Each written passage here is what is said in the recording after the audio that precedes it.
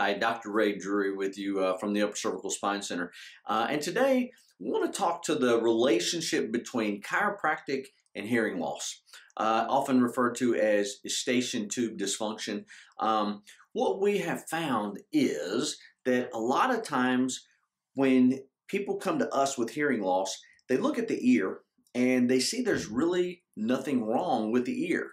That uh, but but somehow or another the message from the ear to the brain is not getting there like it's supposed to. So we have a degree of hearing loss sometimes total sometimes partial. So the message that goes from the ear to the brain that records the hearing it travels across a nerve. The nerve is called the vestibular cochlear nerve. And if there is interference to the nerve itself, then the message gets to the ear normally. It's transmitted via the nerve normally, but somewhere between the nerve and the brain, it gets distorted, which can interfere with uh, the message so that it interferes with the hearing or the reception or the interpretation that the brain may get. So what we have found is uh, that there's only one place in the body that can actually interfere with that particular message from the ear to the brain, and that's right up here at the brain stem. That vestibular cochlear nerve is a cranial nerve uh, that comes off of the brain stem and goes back up into the ear. The message comes from the ear, travels along that nerve, comes out the skull, back to the brain stem down here. So if the bone is out of position, say down in here, and is putting pressure on the or compressing that brainstem, then like stepping on a garden hose, it can create that eustachian tube dysfunction or quite simply a lack of hearing or inability to hear. And we found that if we can find that, and if we can put the bone back in position so that it takes the pressure off the brainstem, stops the interfering with the message from the ear to the brain, it's kind of like lifting your foot off a garden hose.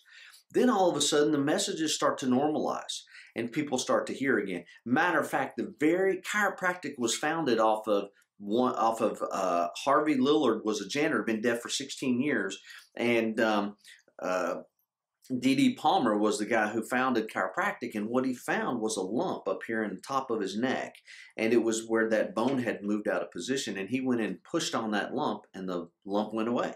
Well, on the third day he did that, all of a sudden Harvey Lillard got his hearing back. So that's actually how chiropractic was founded, was that that he was able to restore somebody's hearing by correcting the position of a bone in the neck. And we have done this for 25 years at the Upper Cervical Spine Center. We've found that people that have a lack of hearing, if they have a misalignment at the top of their neck, that could be the cause. By creating that, we can actually reverse the cause and uh, the ear can actually start to work as is intended.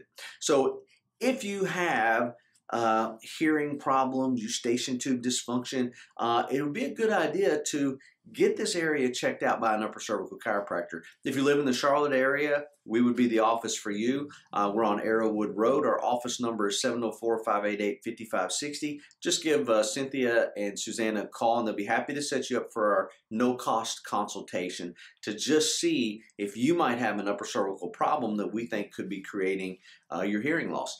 If so, uh, from that point, we'll explain to you what we need to do. If we find that we don't have, you don't have an upper cervical misalignment that's causing it, then we will try our best to find another specialist that we think that can help you. If you don't live in the Charlotte area, Google upper cervical chiropractor near me. Find someone, just go ahead and get this area checked out. Uh, there's a chance that they might really be able to help you. Um, if you can't find one um, online, give our office a call. We'll do our best to try to find the closest one near you. So I hope you have a great afternoon. Let's get that upper cervical area checked. Let's get your head on straight. We'll talk to you soon.